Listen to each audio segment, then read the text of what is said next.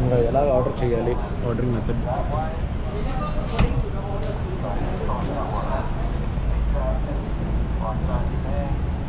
Thank